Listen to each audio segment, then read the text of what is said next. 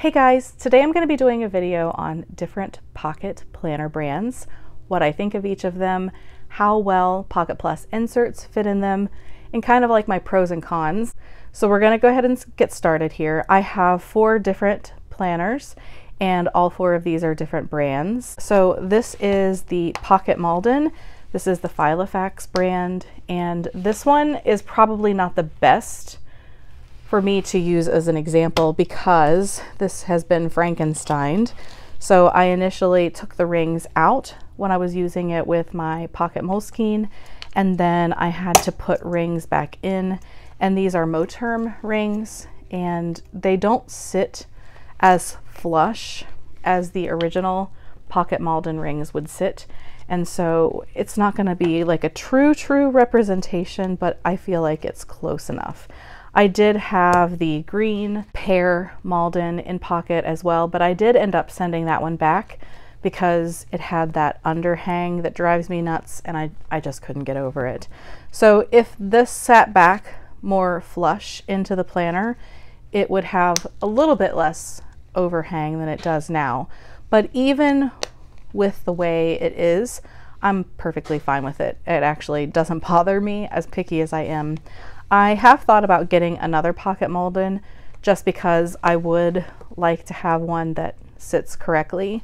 Um, the reason why I ended up re-ringing this was because I just, I thought that this was the prettiest Malden that I had ever seen and I really wanted it to be used.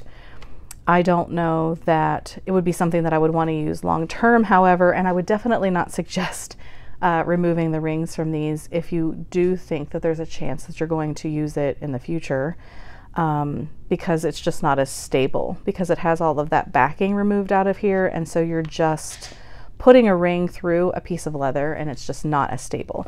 So this is 19 millimeter rings that it was replaced with. And I do think that it was 19 millimeter rings that it came with. I could be wrong about that though. They do seem smaller to me and I can't easily get a pen in the back here like I was able to with the pear. So something is different, I just don't know exactly what it is. But I do love the Filofax Malden. It's my favorite of the Filofax line. The only thing that is a detractor for this, say pretend like these were the rings that it came with and that aside, um, it doesn't make it as easy, in my opinion, to use as a wallet. So let me see if I can find a gift card or something here. All right. So if you take a gift card, which is obviously the same size as like a debit card, if you put it in here or here, it's just, it's not as easy to get to.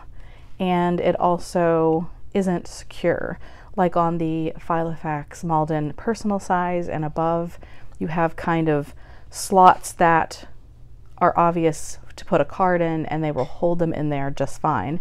And so I do wish that Filofax would either make the card slots going this way with like the sewn piece in the middle to kind of hold it in better or if they would do a different configuration. I know a lot of people use pocket planners as a wallet planner combination and I just feel like Filofax has kind of missed an opportunity to make this a little bit easier to use as a wallet. I know that you can get inserts for your planner to put your cards in, but I do prefer personally for the planner cover itself, either on the front or the back, to have that already done for you. So this one has this little zipper pocket here that you can put change or something in, and then you can put things in this slot, this slot, or this slot. So it does have room, and then you have this big back pocket here, and then this one here. You also have the full length back pocket on the planner. And I would say that even with that being kind of an annoyance that you can't use it as easily as a wallet because there are no official card slots, that the only other thing that is the thing that I don't understand why Filofax just does not listen to their customers. Um, this pen loop is historically and famously so difficult to use and you have to have just a certain pen to fit in there and it's kind of bothersome. So this Sarasa Grand pen does fit in here. And I do like this pen. However, I do prefer to not have a pen this heavy. Uh, they look really, really pretty, uh, but it's heavy in my hand and I feel like it doesn't make my handwriting feel the way I want it to. And after all of my struggles with the Hobonichi weeks and not having the pen that I want, it's just it's just one of those things where you're like you just want what you want, you know, and you shouldn't have to fight. This Pentel Energel, this is the I think it's called the Klen no, no Kuro. K U R O, I think, or A. K U R something, O or A. You can find these at Target. That is also thin enough, but the Energel is not my favorite finer tipped pen. I actually have this Uniball Signo pen and the body says 0.5, but I have slipped a 0.38 insert, not insert, uh, 0.38 uh, nib in here from another Uniball pen. Uniball has some really nice pens and right now this is my favorite. Uh, I really have been enjoying Uniballs. I've been using them at work. I've been using in my planner and I would really like for there to be a pen uh, that can fit in this pen loop and that aside, even with the cards not being the way I want, I would still use this. It just kind of irritates me that they will not fix the pen loops in the Maldens. They would just need to make them bigger, make them elasticized, do something. And I feel like that's one thing about Filofax. As much as I love the brand, I feel like they don't take the time to listen to what their customers want or need. The Malden pen loop specific issue has been talked about so much in the planner community, and I feel like as many people as like to shop with Filofax, they would take the time to listen to their customers and make those adjustments to make a wonderful planner perfect um, by taking care of that pen loop issue. Stepping off my soapbox now. okay, so I'm gonna just take everything out of here and move on to the next planner. Okay, so the next one is the Gillio, and I am telling you, this planner is divine. I love this leather. I bought this on a buy sell trade group and it has all of the texture that I've ever wanted or needed in my life. You guys, if you're not new here, you know I love texture. Um, like the Malden, this one lies pretty flat and I love that in a planner as well. This one has the 19 millimeter Krause rings. This one came with gold. All right. So I did have to take a couple of things out of my planner when I did move into this one from my Van der Spek, which I probably will show next. Um, this one makes it a little bit more difficult to get stuff inside. If you're not a person who likes to keep a pretty streamlined planner, I do my best to do that myself. I take out inserts every month and don't like a chunky planner. So if you are a chunky planner, this one might not work out for you. Um, and since I'm using Pocket Plus specifically, this one I would not be able to get any bigger rings inside because it would, I think, overhang way more than the Malden because it just doesn't have a lot of more, it doesn't have a lot more room. Um, and that would probably spill it way over the edge. I do like the design of this one. I always like a little pocket here to put a little something, so that's nice. And then I like that your card slots are really easy to access, so if you're using it as a wallet, I think that's perfect. It has this nice secretarial flap here, another secretarial flap here with the zippered uh, section here with the little leather piece to cover up the zipper. I do appreciate that a lot. And then again, hey, $2. Um, the big back pocket. I actually really love the way this one feels in the hand.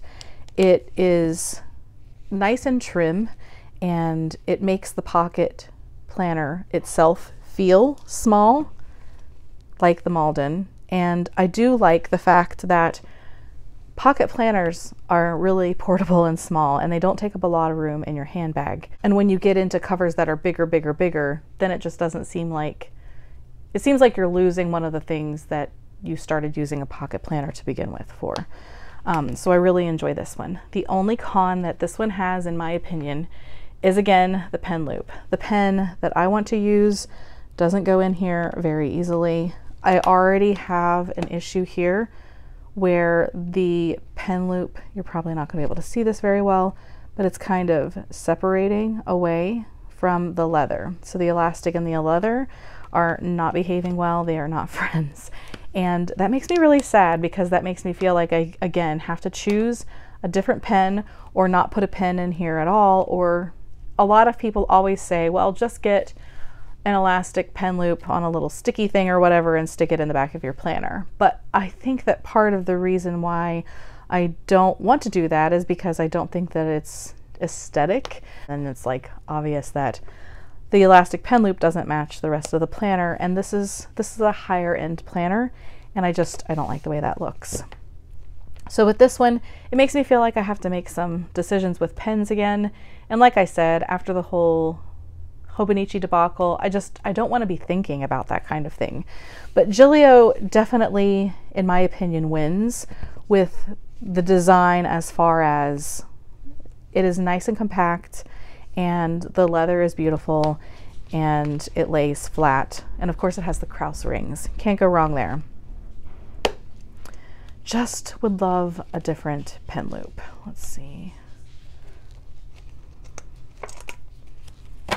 All right, now this one came today, and the reason why I'm doing this video right now is because I'm sending this one back. Um, this is the Moterm, which Moterm is good and I feel like you get a lot for your money. Um, but this particular one, it's like they put too much leather here. It wasn't measured correctly. And so no matter what, you've got this hump and it's not going to stay flat. This, it would, it would relax if I put stuff in it, but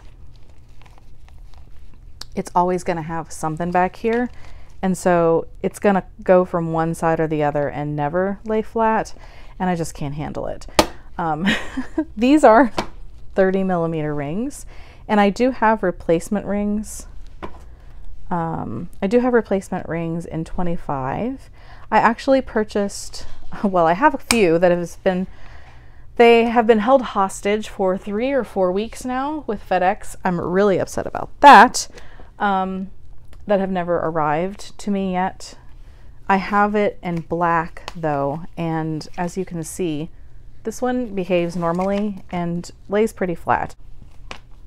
The other one is it's kind of more like a seesaw and it won't behave. So this is what it looks like in the 25 millimeter rings, and this is what it looks like with the 30 millimeter rings. For me, I just can't. Um, 30 with the Pocket Plus. Does have a little bit of overhang here. It doesn't have any with the 25 millimeter rings. And I just don't want a planner that chunky and I don't want a spine that big. Um, for me, it feels like it takes away the whole, the whole point of having a pocket planner. For the Moterm, however, you do get a whole lot for what you pay for. You have this little pocket here. I love that it matches in height to this side. This one is wider because you have the zipper here. And I will give bonus points, I think, to Moterm because they really, really do listen to their customer. This is a Luxe 2.0. You can find a couple of the colors now on Amazon, which is where this one is from. And they only come with 30 millimeter rings, but you can get two pair of 25 millimeter rings for like eight something. They're not as good quality as Filofax, and they're definitely not as good quality as the Krause rings. But you have to remember the price point as well. The other thing about Moterm that you need to remember is that this leather has been like steamed and pressed and made the pebble. It's not a natural pebble that you would get with some other kinds of planners. So, you know, again, you have to think about the price point difference. This one, this one on buy sell trade cost me $250. This one cost me $50. So, you know, you have to make some concessions for that. But they have really listened. I mean, the zipper matches the planner. They have added the little bit of leather here to protect the the inserts from the zipper and they have pockets everywhere. I wish it was just a little bit more simple, personally. Um, so you have three card slots here, you have this little pocket here, secretarial pocket here, then this little pocket here, three more card pockets here. This is where I feel like maybe we could have done without. So there's this other little pocket here, secretarial, and then big back pocket. They also have updated the flyleaf, which I don't have out with either of my planners, but it now is more useful. I do wish that it didn't have a pen loop attached because I don't like that look in my planners. Otherwise, I would be using the flyleaf in these because it is very functional. This one is the olive color and it is different than the Gillio, but I think both of these are good options if you're looking for olive green. So as far as like listening to the customers and everything, I'm going to take it back to the Filofax situation. So where Filofax has known that people have complained forever and ever about their pen loop um, and has never changed that about the uh, planner, Moterm has changed the kind of pen loop that they have, where the pen loop sits. They've reconfigured pockets and all of that has come from customer feedback. So like I said, bonus points to Moterm for listening to their customers. And then the last one, but not least, as you can see, this is the planner that I'm currently in.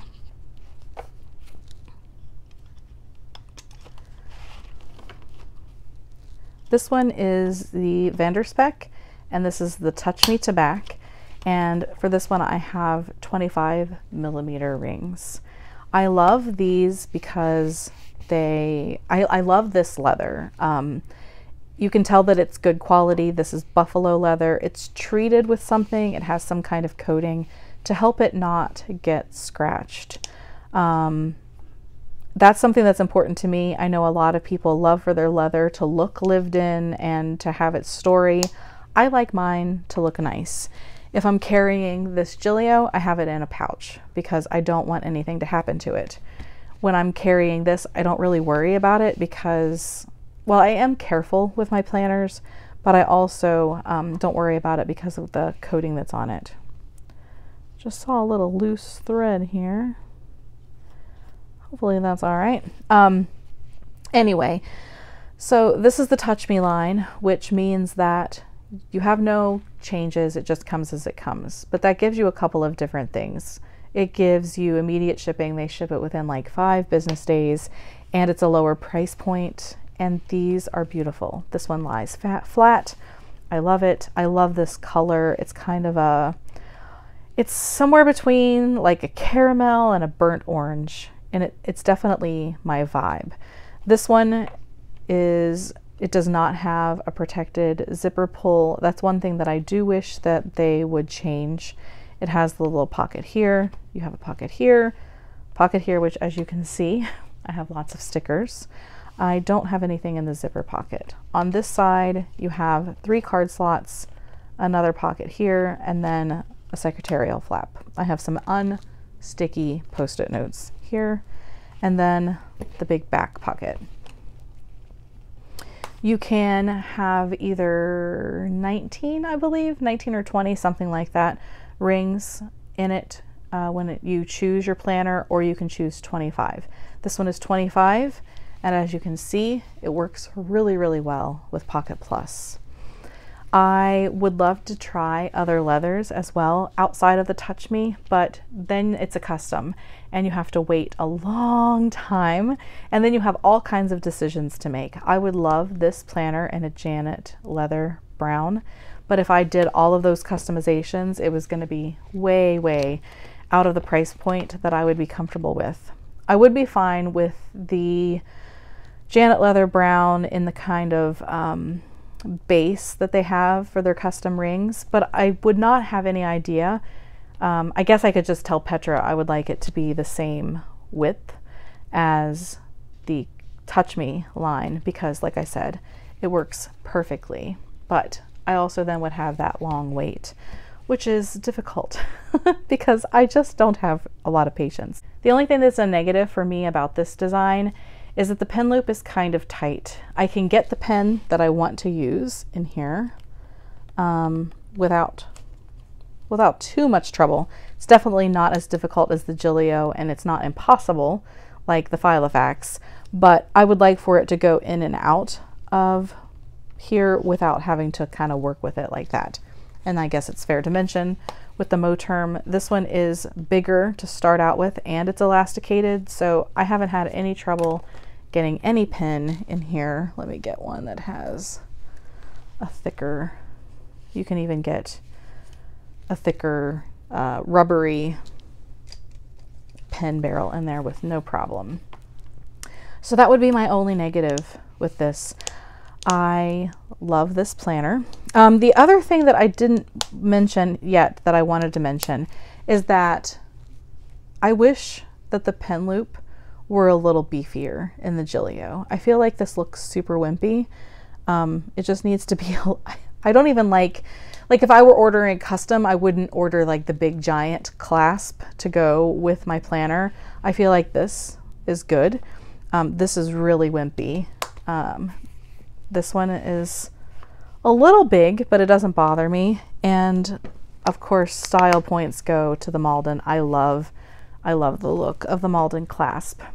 I do have a rust. It's also a lighter color rust that is closer to my Touch Me Tobacco. I think that that one is going to be in the sell pile because it's it's too similar to this color. I'm going to hang on to this one because you just can't with that texture. But I do find myself reaching for this one a little bit less because of the pen loop. And then with the Moterm, um, I've kind of been on the fence about if I'll keep this one or not. Uh, because I just feel like I prefer the Van der Spek. Also, the, the Moterm is about the same width, but it's just a tiny bit shorter than the Van der Spek. The Gillio is just a little bit shorter and less wide, and you have a much smaller uh, spine. For the Malden, it's just a tiny bit taller than the Gillio, and it looks to be the same width. Their spines are pretty similar. And then I'm going to compare the Moterms to each other. Of course, they're going to be the same size like this, but the spine 25 millimeter and 30. I definitely prefer this. And then I'll compare the 25 spine to these. I would say that if you love a chunky planner, you probably should get the 30 millimeter in the Moterm because that's going to give you the biggest bang for your buck. I just don't think that you're going to be able to use it if you use Pocket Plus inserts. If you use true pocket inserts, it's going to be just fine to go that big because that's what it was designed for.